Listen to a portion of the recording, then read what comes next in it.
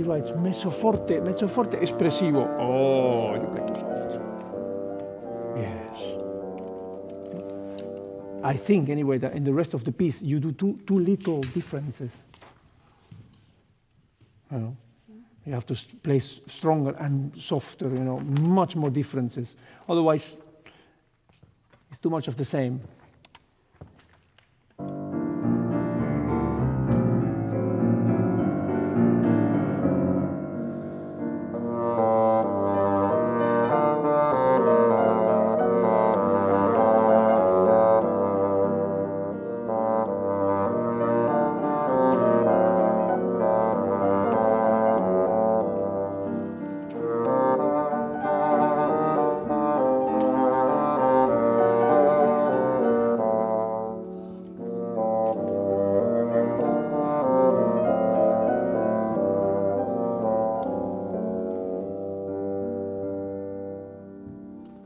Very simple. Yeah? And every last note of every single phrase you play, you play too short.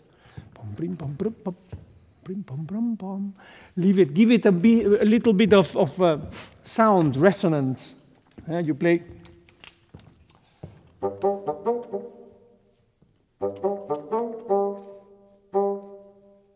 It's also a short note, but with resonance. You play. Pum, pum, prim, pum. Yeah? Okay? Try it again.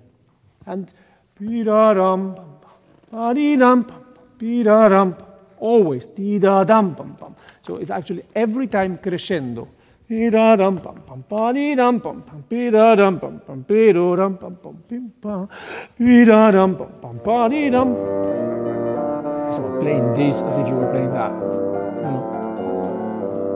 And that as if you were playing that. It's as simple as that.